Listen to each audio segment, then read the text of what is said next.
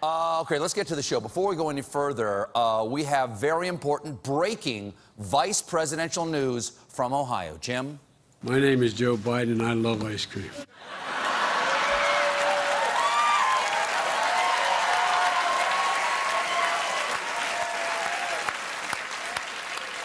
My name is Stephen Colbert, and I love Joe Biden.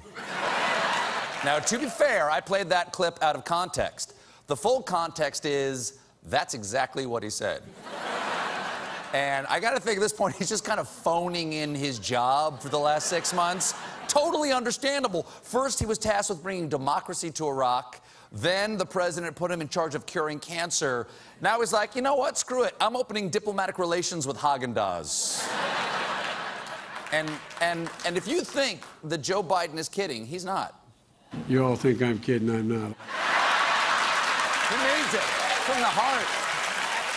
Heart. That, that is from the heart, from his ice cream clogged heart. And I'm sorry, uh, sir, what were you saying? You all think I'm kidding, I'm not. I ate more ice cream than the three other people you'd like to be with, uh, all at once. I'm not sure. What does that mean? Do you have brain freeze, sir? You got to slow down. But I do know one thing. God, I wish that man was running for president. I wish that man. You know who is running? Hillary Clinton. And uh, the road's a little rough for her right now. She needs all the help she can get. Just not the kind of help she's getting from former Pennsylvania Governor Ed Rendell who tried to help her by attacking her opponent, Trump, saying Trump's comments like, you can't be a 10 if you're flat chested, will come back to haunt him. Then Rendell helpfully added, there are probably more ugly women in America than attractive women. People take that stuff personally.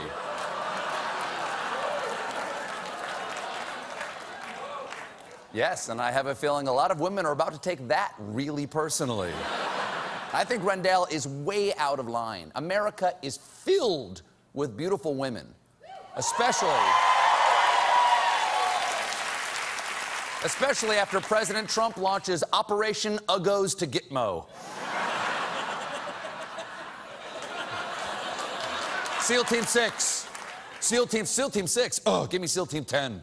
Then, you know, Summer vacation is starting. You guys uh, traveling this summer? You guys going anyplace uh, fun? You guys you going anyplace fun? I'm not going no? anywhere. No? I'm not you guys, going. anybody going to a national park this summer? Anybody? Just a couple? I'm sorry your kids had to find out that way. I promise, kids, rocks look just as fun as roller coasters. But there could be changes coming to America's parks because the National Park Service is so desperate for cash that they have just announced for the, for the first time they're going to solicit corporate sponsorship. Pretty soon, those sequoias could be brought to you by Viagra. Remember, if your redwood lasts more than 2,000 years, call your lumberjack.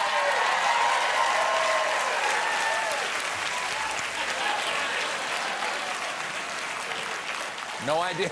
No idea. I have no idea what this motion means in this metaphor. In this metaphor, this doesn't look that pleasant. now, the Park Service promises that corporate naming rights will be limited, but that's what they always say. And we here at The Late Show have uncovered this PSA from our good friend Smoldery the Bear.